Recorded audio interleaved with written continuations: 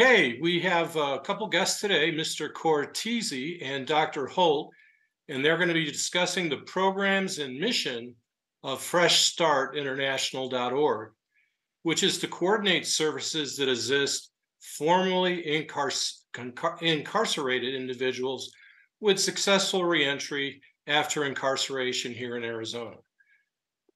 Gentlemen, uh, the floor is yours. Hi, good morning, and thank you for the opportunity for us to come and speak to you. Um, when I was first contacted uh, to speak, uh, I, I, immediately replied, "What am I going to speak on?" And and the individual came back to me and said about Fresh Start, and my immediate response is, "Then we should have Dr. Holt there because this is the vision of Dr. Holt. It has existed within him." For many, many years, he, he started with little clinics at, at the church and it has just grown and exploded over the last three years since uh, it was brought to the community center. Um, I was brought on three years ago when that was just the inception of the first program, and uh, I didn't know anything about Fresh Start. And then I started to hear Dr. Holt speak, and him speak about um, people who come from a disenfranchised group that most people don't really consider often and and yet alone on a daily basis. And and this gentleman was able to apply his life and his vision uh, so that people that had a justice involved past could have a future where that wasn't involved in it. And um, for the sake of full transparency myself, I have served over 28 years in the Arizona State prison system. Over the last seven years and over the last three years, working with Dr. Holt, we've been able to expand this program to get back into the prisons, not only the state prisons, but the federal prisons and the release center and the probation and the parole departments. And uh, Dr. Holt is just blowing this up. And, and for a person like me coming from my past to hear someone speak like he spoke uh, about us and and about us having a future and about us being valued and and about the importance of us having uh, the resources available to us so that we can deal with the issues that had originally put us in the position to put us in there. You know, when I first went to Fort Tucson and started there, I was in charge of Care Portal, which was the foster care program and we see seven to eight out of 10 kids that become part of the correction system when they become start part of that system. And then you start to notice that the kids that are living in poverty and in these more impoverished neighborhoods that are more filled with people of color, you're seeing a higher incarceration rate. And I'm seeing it from the side of behind the walls, and he saw it from this side, knowing that us behind the walls we're going to come back out.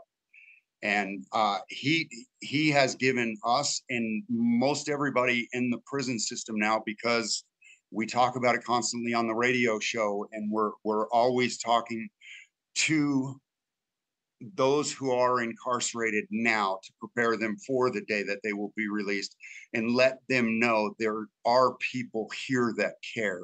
And there are people that care about programs that are going to give them a future and a hope. And that's what we that's what i have found in dr holt. And i'm just going to let him run with it because this is i i i I don't follow him. I run after him because he is moving through the country and and this is international it's going to grow to that because this man is just a fire plug for us and for our futures. God bless you and thank you for inviting me. Uh, let me let dr holt talk to you. All right uh, thank you so kindly uh, good after good afternoon everybody. Thank you for allowing us to come. Um, truly we are excited. Thank you tom uh, for that a great introduction. Remind me to give you your $50 uh, sometime this afternoon for that great introduction. Um, but anyhow, uh, great, great to see everyone.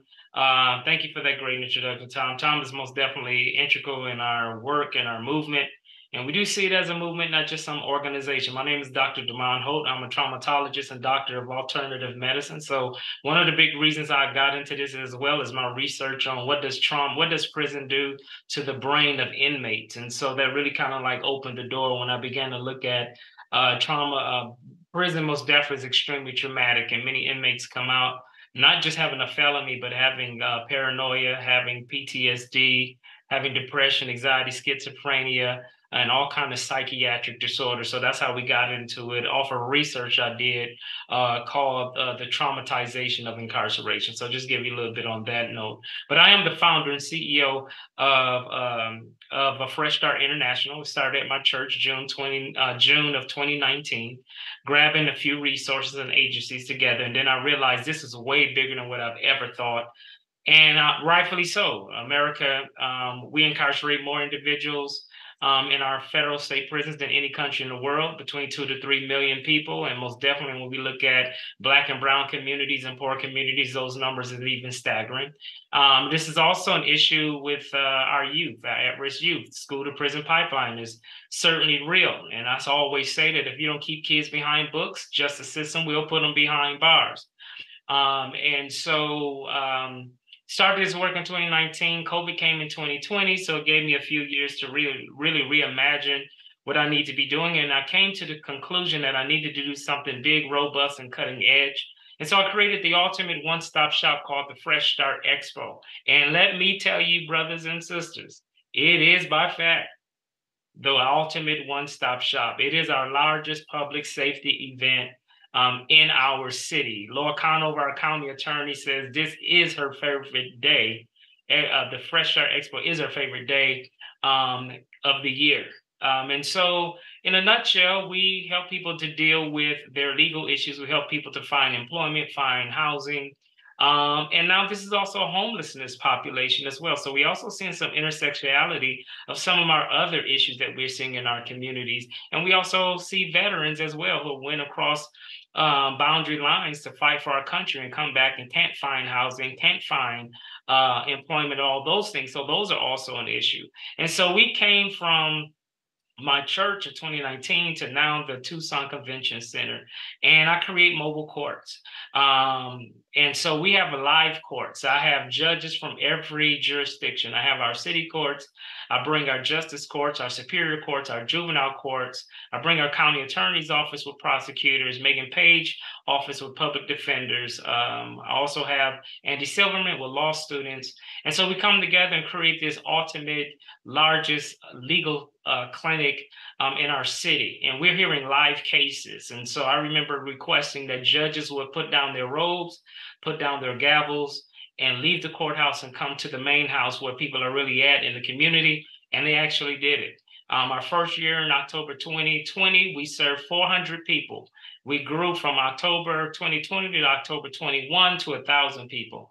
Um, and um, then 2022, 1,000 people, excuse me. And then now to this year, we're getting to October 23 and we're expecting to see 2,000 people. Every year we grow. Um, and we have been, and this is the reason why we grow. We grow because we actually create a one-stop shop where inmates do not, former inmates do not have to go to 50 different places to get help. They can come to one place and actually have just about everything they would ever need. So according with the courts, we also have our legal system. We have felony-friendly employment. We have felony-friendly housing. Uh, we offer behavior health, uh, substance abuse, mental health, primary care, all is at the table. This is all going on um, at the same time. Now, let me tell you what we have been able to do successfully.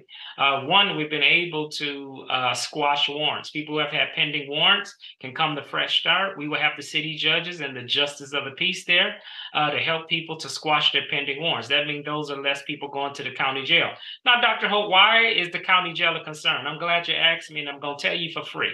This is the issue. We are now dealing with an issue to where you probably will die in our county jails because we are having so many in custody deaths, unexplained um, deaths, and there's absolutely no type of uh, remedy of fixing that issue. So that's a concern. So many people need to stay out of county jail as possible, and we need to have many uh, more alternatives to incarceration to help people uh, stay with their families, continue to work, keep their car, because when you lose your car, you get incarcerated in the county jail, and you can't afford to bail yourself out. We're pretty much creating poverty. People are getting evicted, they're getting their car repossessed, their families are falling apart. One of the things we've been able to do is again, we've been able to squash warrants. We've been able to have we have people that had thousands and thousands of dollars of court fees and fines and had to juggle do I pay the mortgage or do I pay these fees?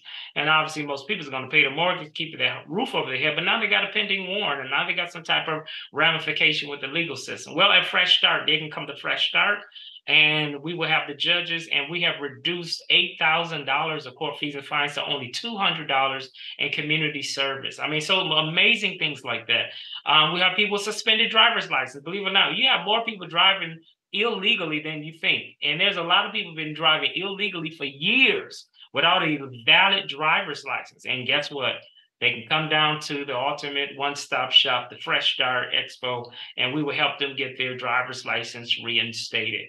I mean, I mean, I can go on and on and tell you how we have helped felons that have a felony record that have not voted in 20 years since this is the democratic movement. This is very important to you guys because 200,000 felons is disenfranchised to vote in this state.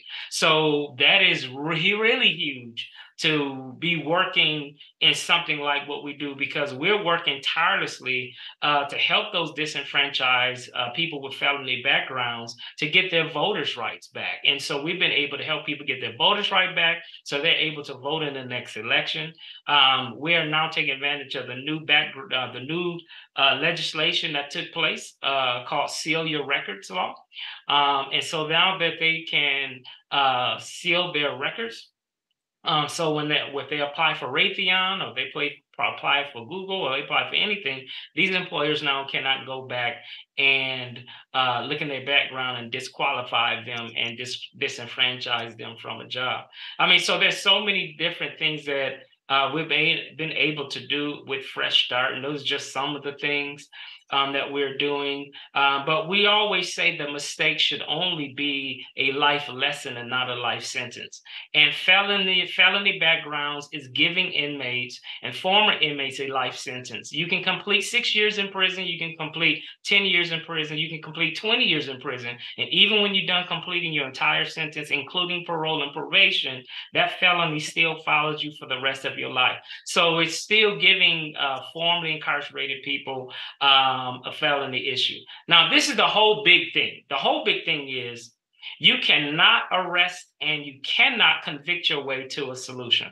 Public safety is not about over policing communities. We see it doesn't work. We create disproportionate numbers and disparities among poor communities and communities of color time in and time out. The best way to really promote public safety is to provide mm. rehabilitation, to provide education, to provide substance abuse if they have addictions issues, to provide mental health support if they're struggling with depression and schizophrenia, some type of psychiatric disorder or post-traumatic stress disorder. These are the things that we are doing to uh, enhance our city, to bring healing back to our village, to restore families. You better believe uh, children's outcomes are better when when they have a two parent household at the house and that father is at home and you know all those different things we see in the data and education and juvenile justice all that is important of stabilizing our families so i don't want to take too much of your time um, but we're excited. We are coming back October 21st in just a few weeks from 9 a.m. to 1 p.m. at the TCC, better known as the Tucson Convention Center. Um, and we're thankful for our important partners like uh, Mayor Romero, who has been um, an integral part of making sure that the city support us. Uh, Mike Ortega, our city manager, uh, Laura Conover, our county attorney, um, our presiding Pima County presiding judge um, um, Bergin, Judge Bergin, our presiding judge. I mean, so they we countless supporters have seen this work and seen that this is the right way to go. Now, let me take, give you two takeaways I can say. Number one is free. We don't charge anybody. Um, and so that's amazing. And then two, I don't know if this has impressed you or not, but we have absolutely have not arrested not one person. Absolutely not one person. One out one person have come to our event, have been brought into custody, or have been have been arrested. So uh, we are on the move. This is our movement. Um, it's not just an organization. Um, and again, we're here to help people get on their feet. And if you have members in your community, members in your church, members in your family and neighborhoods that need to deal with their legal issues, um, that need, they want to get their voters' rights, we can help people get their voters' rights. You know, there's some other things you got to have as the uh, certificate of absolute discharge and and uh, keep clean for two years. Um, uh, for the Seal Your Records Law three years. Um, there's some extra uh, details, but certainly we are able to help. Um, and if we can't handle everything that day, we try to do most of everything that day so we don't send people to court. But if we do, and there are times we do, we can uh, create a court date and send people uh, so that they can get the help. So, um, Fresh Start, we're excited. Uh, Fresh Start has been so successful. We're now looking at Fresh Start Phoenix 2024 and Fresh Start 2025 in Atlanta, Georgia. So, uh, we're on the move. The needs are there, and we're doing all we can to create as many partners as possible to get behind this work um, and we're we're ready to rock and roll and, and help everyone that deserves a new beginning to get a fresh start. And you can also tune in to our radio show every Saturday morning on 106 The Groove, where is the Fresh Start Show and podcast. And so, and that is a platform where we actually speak uh, to truth to power. We actually challenge policymakers and politicians and leaders to really be serious about prison reform and justice reform. So thank you for your time. Um, and we're, we're ready to rock and roll for our city to, this year. Great. Would you be willing to take some questions? Sure. Great. Number one, uh, Karen Leeson, Leeson would like to know, are you bringing help to those who have drug or alcohol disorders? And uh, Craig would like to know uh, if you're working toward uh, non-cash bail. Yeah, um, so there are some things that we're working on, um, and obviously this is a heavy lift. It's a lot of work. Um, and there's a lot of powers that be that likes to keep in people incarcerated, even private mm-hmm. prisons. So we are also dealing with some systemic issues and some systemic systems that are in place to fight against our work. Uh, one of them is bail reform, um, and that is something that we have to partner with other people, other leaders, um, that's willing to join our cause.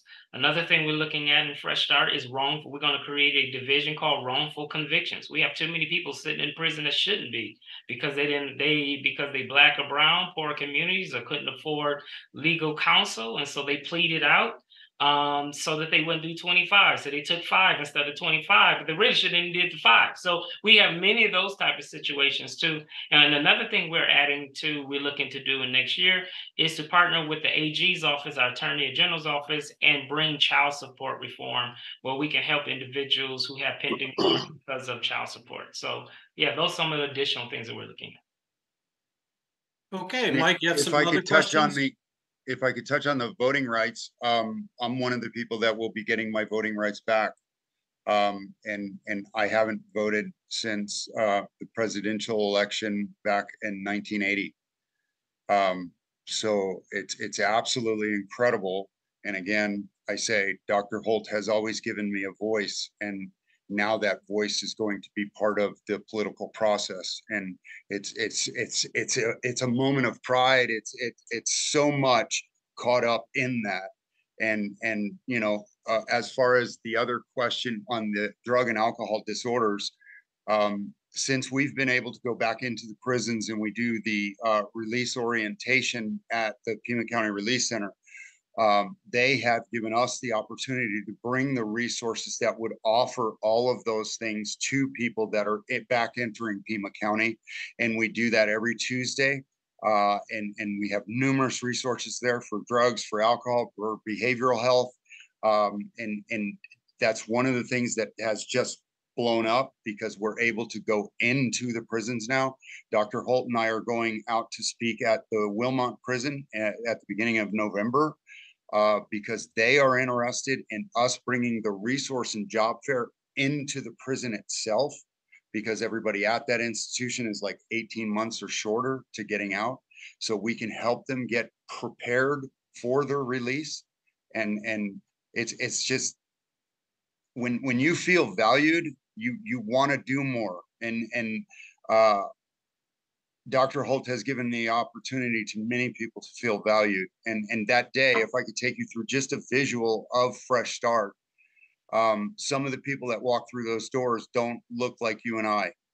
And uh, the first thing they meet is wonderful people at intake, and then they set them up with these uh, stylists or barbers who are going to cut their hair. And then they're going to go from there over to an area where another organization gives them clothes so that when they turn that corner going down that hallway that has all of those felony friendly employers, the guy that came through the door looking at the ground and when he sat there with that woman and his shoulders started going back and his chin started going up, and then he went and got clothes and new clothes looking good. And he went and turned that corner, and that man's shoulders were back and his chin was up, and he felt like he was valued. So the man that walked down that hallway was not the man that walked in the door. Because when we start pouring into the people that are coming back into our community, it changes what they're going to do in the community and and I can attest to that me personally because that's what I do. I pour back into that community every day because of what has transpired, what we are able to do every day. Thank you, Tom. Uh, yeah. Shirley Money has a question. Uh, she wants to know uh, what your funding sources are for this organization. Mm-hmm. Um, right now, funding sources is anybody wants to give. so, we don't have a specific. Uh, well, we did get one small grant from the city um, to help us, but most of it is just um, you know different organizations uh, that see the not just see the vision, but see the impact already, and saying you know we really need to be making this bigger. Um, and I need more funding sources because right now you got to think we're about to serve uh, 2,000 people, and I have a 100% volunteer team. And right now, to really build bigger capacity and sustainability i need to i need to raise money to, to have uh you know two paid positions where i can have an administrator uh, to help me with the day to day and have a field coordinator as we're going out doing this work so um yeah i can always stand i need that money like asap especially going into uh, next year when we're talking about doing two fresh starts a year now. We're gonna have one in Tucson, and we're gonna have one in Phoenix. And you know, Phoenix is a whole nother kind of animal. Um, but yeah, so those are our funding sources. So pretty much, you know, any organization that want to give, we do have a uh, a annual uh, fund fundraising breakfast in in August that we have here at uh, at uh, St. Andrew's Presbyterian Church. Um, and so we have all of our partners and whatnot that give. So yeah, that's our funding source. And, well, and as an organization, we're only we're only 18 months old, so we're still a baby. Well, I invite you to put any uh, fundraising or uh, organizational links in the chat so people can uh, can uh, take advantage of those. Uh, looks like uh, uh, Susie Anderson would like to know uh, you seem to have a strong religious background. Does Fresh Start require or urge people to become active or join the church uh, for which you work? Oh, and no, that's, how that's women do you serve? Oh, yeah, uh, yeah. Do do I, am I a man of faith? Yes. Am I ashamed of it? Heck no. Um, I most definitely um, is a follower of Christ, but I but we do not be we do not proselytize people uh, to make people uh, become Christian in order for us to provide services.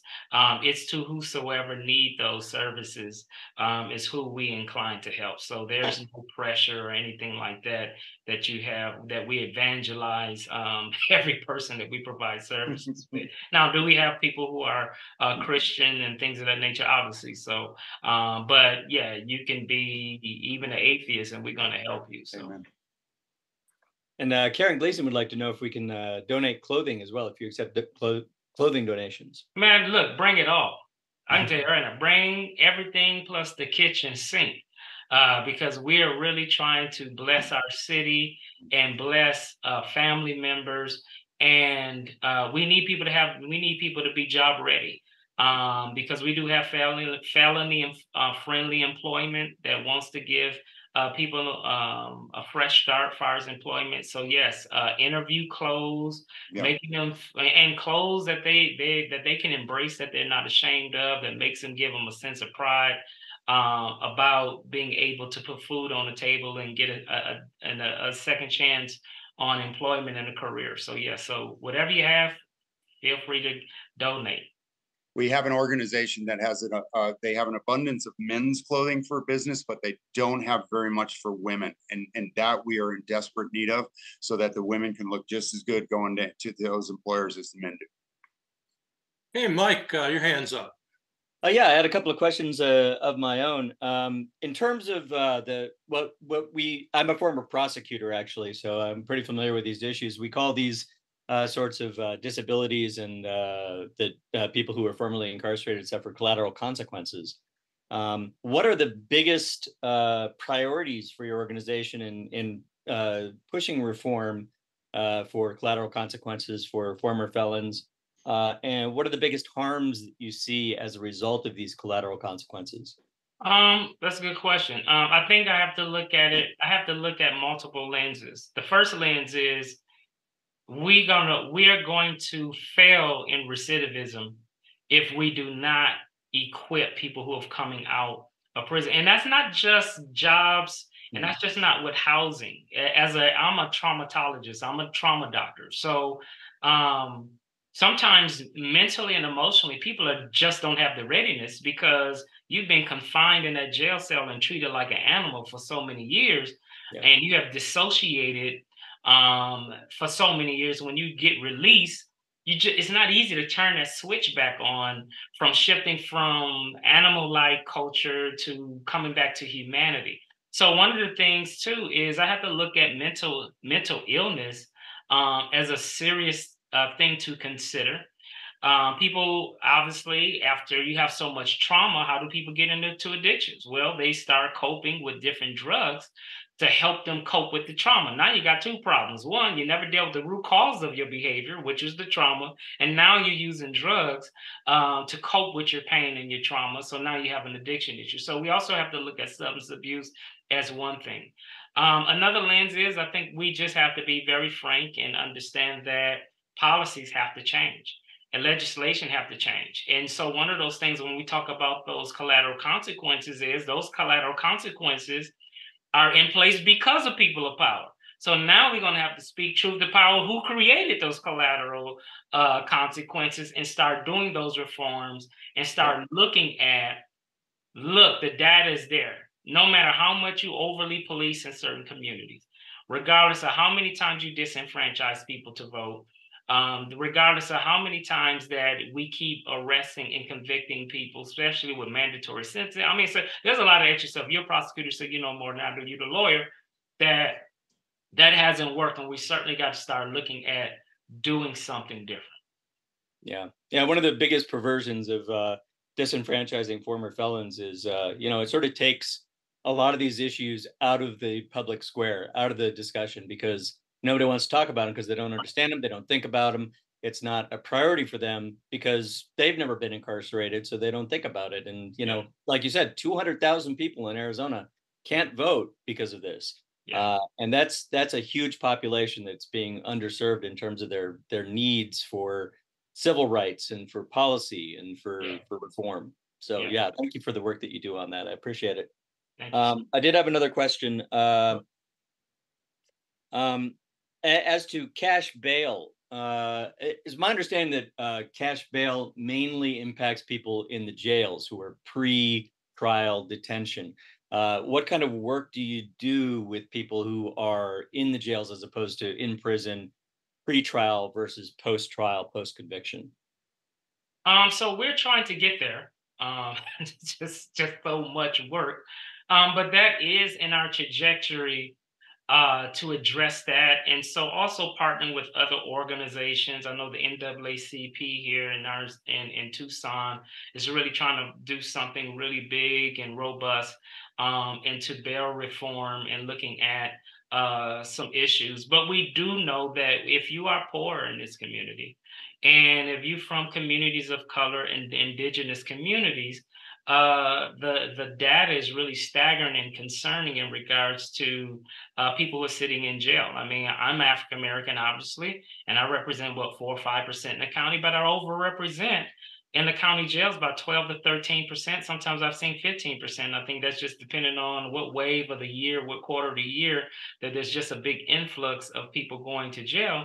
But most of those people who cannot afford an attorney, that, that cannot bail out, has to sit you know, in jail for four, six, eight months, and some people actually sat there for a year. And actually, when they trial come, uh, they're they're not guilty. But now they've spent a year uh, being incarcerated in the county jail, and they've pretty much lost everything they worked hard for. And that's where the injustice um, is coming from. So we are seeing that there is a need for us to start looking at uh, ways to push bail reform. And again, like I say, we can always stand to get the help um, and people to partner with us when it comes to policy because that's my angle is once we help people with legal issues on this backside this back end now we got to stop being reactive start being more proactive in regards to looking at policy change in areas that impact such as what you just said you know bail reform. Thank you dr holt. Okay andrea has a question. Hi, good morning. This uh, sounds like a very valuable organization. A question for either of you gentlemen: uh, What do you what do you define as success, and how many of your clients are successful? And also, just a comment. Dr. Holt mentioned trauma, and lately I've begun to think trauma has is causing a lot of damage in our society, and not just among people who've been to jail. Yes, right. Yeah, um, Tom, you can chime in too um, on some of this. So, uh, so let me go, go, Let me go on the trauma side. So, you're exactly right. So, uh, most of my work is in in education, uh, foster care, and I'm also uh, one of the, I'm the uh, primary trauma expert for the Arizona Supreme Court. So, I actually work on creating trauma informed courts with judges in our 15 counties. Um, and trauma is really serious. You're exactly right because what we see is that when trauma and the root word trauma means wound or injury um, from our lens. And so when people have been traumatized or we use that frame it means that there's some type of life event or tragedy have impacted their brain to where it actually rewires the brain and that creates issues with behavior. And so that's what i explain in in our education system why kids are not learning why grades are decreasing why are kids suspended and behaviors all over the place. It's coming from that trauma so exactly right. So when people when trauma, the brain has been traumatized, it impacts the whole person, it impacts the body, and certainly impacts behavior. A lot of people that are in prison have their pre-trauma, right? Um, and that explains why we see some of the behaviors that now we had to, unfortunately, because of statutes and laws on the books, we have to criminalize it. Um, and now when they come to prison, now there's something what we call in our my field in the science of traumatology is secondary traumatic stress, secondary trauma, or STS, which simply means that there's a thing called secondary trauma. I've already been traumatized since I've been 13, and now I'm in prison getting re traumatized. And then I come out and I'm traumatized again because I don't have any resources to even restart my life. So I go do something dumb and stupid and go right back into prison because of institutionalization of trauma. So you're right. All of that stuff is very, very important. Um, and to answer your question, how do I define as a as a founder? Um, how do I define success? I I define success as when uh, when people have uh, when systems has failed people um, and they feel like they have no hope and they feel like the only alternative to get three, two to three meals a day and have a roof over your head. And if that's prison, and if I can keep you out of that, then that's what I consider success. When I have someone that got eight thousand dollars of court fees and fines, and they got to juggle between paying the mortgage or paying court fees and fines, if I can reduce those uh, fees and fines by thousands of dollars and keep you out of prison and keep you in, in home with your wife and your kids and stabilizing your family, those are the things that I consider are major successes um, with with with with Fresh Start. My final thing I say is Fresh Start. Also, I consider success is because of the fact that I have have people from the liberal side, conservative side, Democratic side, and Republican side, and I have never had nobody fight or had another, I never had a deliberation about politics. People come together to make this happen because this is an American issue. And as long as we can keep it on that focus and focus on impacting our communities and families and keeping people out of prison and seeing the chief of police come to our event and be amazed and say, wow, this is crazy. And have our county attorney, who's our prosecutor, to say we want to do all we can to make sure that we're adjudicating cases and keeping people with their families. That is just simply amazing. So when we're seeing things like that, and we have never arrested nobody, no one has been hauled off uh, in shackles or handcuffs or being booked. Yeah, that's what I consider, in my opinion, how we see success. Great. Uh, Lee Personally, has a I- question. I, my personal success, um, is that I see the room filled with people that care about people that have been incarcerated. To me, that's a success. To me, it's a success that we go to the Tucson Convention Center on a Saturday and we have judges that take off their robes on their day off and they spend the day there making sure that a person has a chance at a future. And then we get like 40 plus resource tables, and there's two to three to four people at each table. And I'm looking around this room and I'm seeing two to three to four people at each table that have taken this day Yeah. so that I could have a better day tomorrow.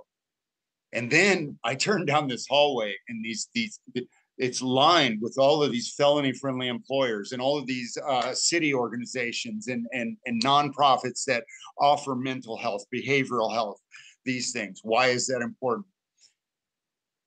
As, as far as ACE scores are concerned, mine's off the charts. I started at a very early age being molested, being abused, being beaten. Uh, all sorts of uh, addictions resulted from that. And as Dr. Holt was saying, the problem wasn't the addictions. Once you start to deal with the traumas, those addictions start to feel away, fall away. And and one thing that I do know after 28 plus years in prison and after hearing thousands upon thousands of stories from different men that I was incarcerated with for over 28 years, trauma is the most prevalent thing in all of our lives from prison. And that, for me, first and foremost, has to be dealt with.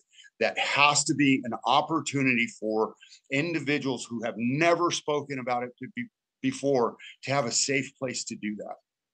Thank you for And- sharing and- that, Tom. I appreciate that. Uh, one clarification I'd like to ask is, uh, what is the role of the judges here uh, for the people who are participating? Why are they taking off their robes, and why are they there? What are they doing uh, during the, the the the process? Uh, okay. Uh, yeah, let's go. um, the reason the reason why is because our court systems have tried to do uh, something internally called warrant day, and warrant day have been pretty much a failure, and they've admitted that. That no matter how many times they try to have warrant day, people are intimidated uh, to go to court. People actually think the courts is hoodwinking them, setting them up so that they can show up and put handcuffs on them, right? So what makes Fresh Start important is you say, well, why is judges taking off the rope? Because they need to be community judges. People need to see judges in a different light. And also people see Fresh Start as home court advantage for the community. It's a safe space.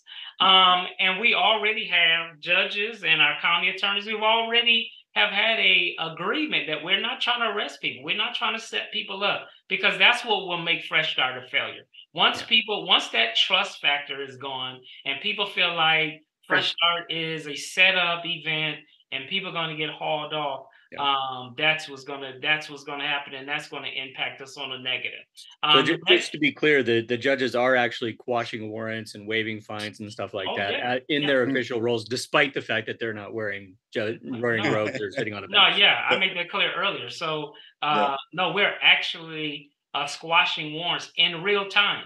In Yeah. real time, we're not sending people to court. They're not getting court dates. Say, come to Fresh Start, and then we see you in October. See you in December twelfth. No, we're we're dealing with real court cases live right then and there. People are walking away saying, they squashed it. I'm good. I mean, you hear the testimonials right then and there. So when I'm using that that visual that they're taking off their robes, they're literally taking off their robes. And Judge Bergin had no robe last year. He had on the dress, he had on some some dress pants, dress shoes, and a dress shirt, and a regular table, no bench.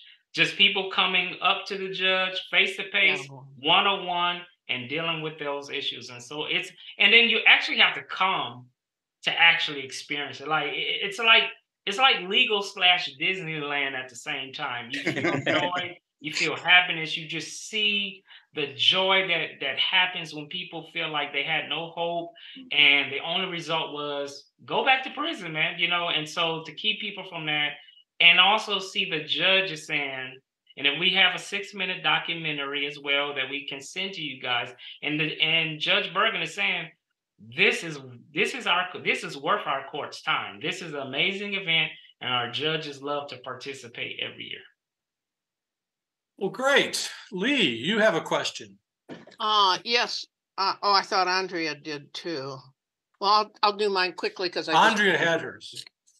Um, I um I missed or I didn't quite follow. What do people do with your organization if they want to recover their vote, voting rights after a prison stay? Do they? Um, so one of the services we offer is called uh, restoration of rights. Um, okay. Now, there's something you have to do. Number one, you have to be 100% uh, done with parole or probation. And after two years of being released, you can um, get your certificate absolute um, uh, discharge from the DOC. Um, and once you do that, then there's some paperwork that you have to um, complete. So we have some law students, including lawyers, that help people go through that process and do the paperwork.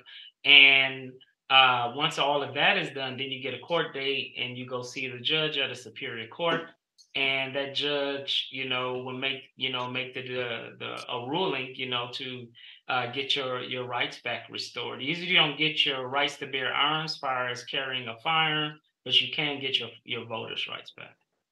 And that's through your group. Do they talk to you through your group, or is it? Oh yeah, so we're one of them. Our, you know, we're the primary because uh, we're probably about the most famous one because of our branding. But we do have uh, Andy Silverman and his group um, are doing rights and restorations kind of like on a bi-weekly basis. Megan Page, the public defenders, I think every Wednesday um, is offering these services as well at the uh, public defender's office every Wednesday as they're doing their legal clinic. And they're also doing the Seal Your Records law too. So we that's a new legislation that was finally released in January 1 of this year.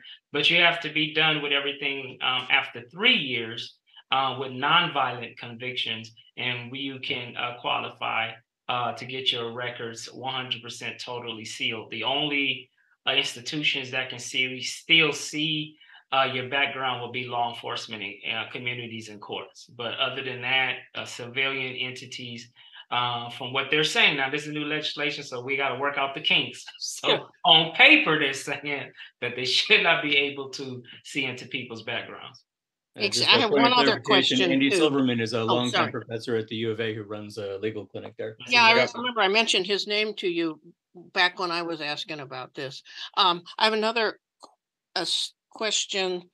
Chicago or Illinois, it's probably Chicago, has done away with cash bails because that is such a problem. People can't raise money if they're in jail, they can't work. Um, do you know about that or have you heard of that? Um, I've heard a little bit about it, and they're not the only ones. There's some other uh, governmental agencies uh, throughout our country that's really beginning to be really robust in this approach uh, to dealing with cash bail issues. Now, in Arizona, our issue is that uh, you know internally, uh, courts and county attorneys can only do so much. Um, mm-hmm.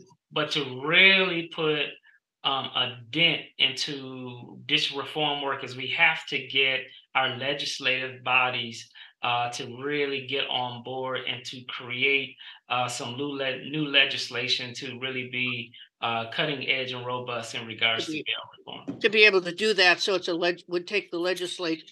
Yeah, yeah, we need we need statute on the books. Yeah, we need. Yeah, okay, I was just wondering because it, I didn't quite understand it but I think that it's probably a very good idea.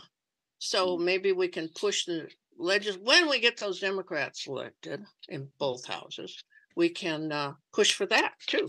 Oh, most definitely. Most definitely. Okay, thank you. Great. Judging, Okay, judging has been taken away from judges a long time ago. Yeah.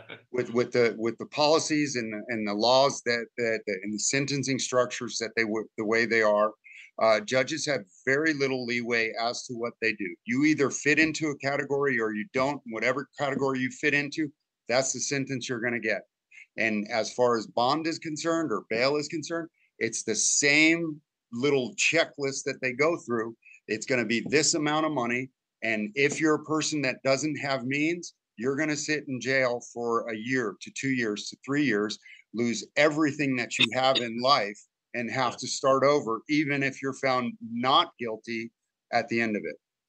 That's that's criminal. Okay, Okay, we have Yeah. two There criminal. Should be. people. okay, great Okay. question, Lee and Thomas. Appreciate the input. Uh, also, they asked if uh, there's any uh, liaison or lobbying going on with the state legislature to uh, assist with the development of legislation in this area. Actually, with the new radio show coming on, we are having guests come down from Phoenix that are very influential in that area, and and uh, Dr. Holt and them are going to start discussions in that area. Good. And what was the radio station again and its call numbers? 106.3 The Groove FM every Saturday morning at 7:30. We'll bring you some donuts. That's pretty early. Amen. And if you come out to see us on the 21st, the new radio show will be live at the TCC, and that's 90.1. Wonderful. Well, great. What a, uh, we thank you for uh, all the work you're doing. Uh, lots of great details shared today. We really appreciate you taking the time to be here with us. And uh, thanks so much for uh, giving hope to folks that need it. And uh, we really appreciate that.